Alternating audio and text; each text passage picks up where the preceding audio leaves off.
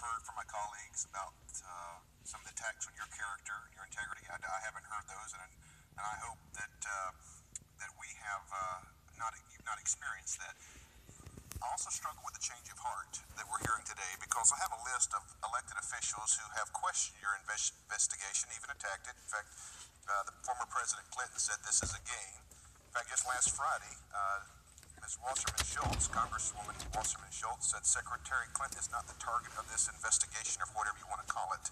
My question to you today is do you feel like this has been a Republican witch hunt? This, this This hearing? No. Okay, thank you No, for I said at the beginning, I understand people's questions and interest, and I, I, I'm a huge fan of transparency. I think that's what makes our democracy uh, great. And I think goes to one of the reasons of why you are so respected.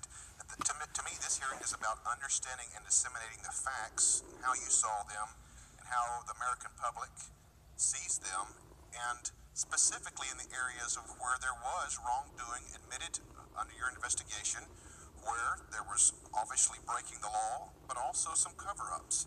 Uh, did Congress ask you to pursue this investigation?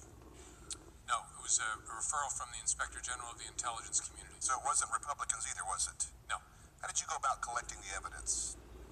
we used the tools that we normally use in a criminal investigation.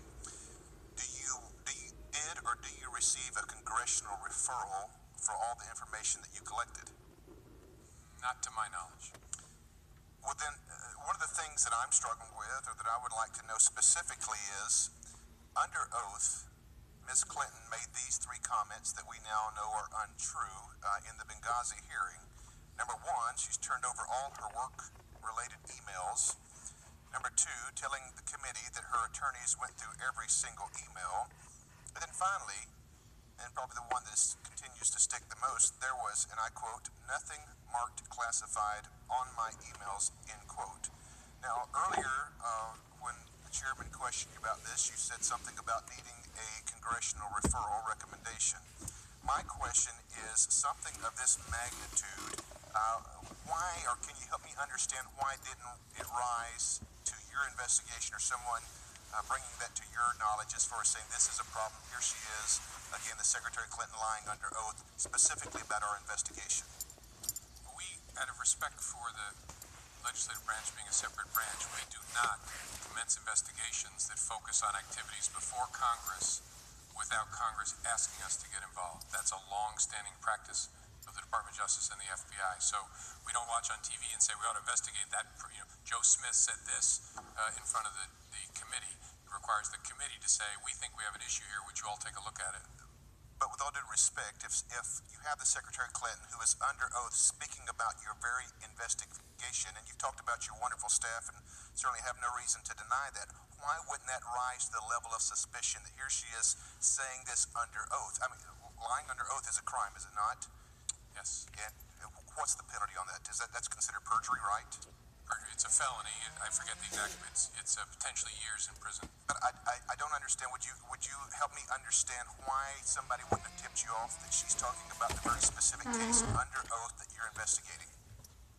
Well, there's a difference between us being aware of testimony and us opening a criminal investigation for potential perjury. Again, it's not this case in particular, but all cases. We don't do that without a committee saying we think there was an issue in testimony given in this separate branch of the government.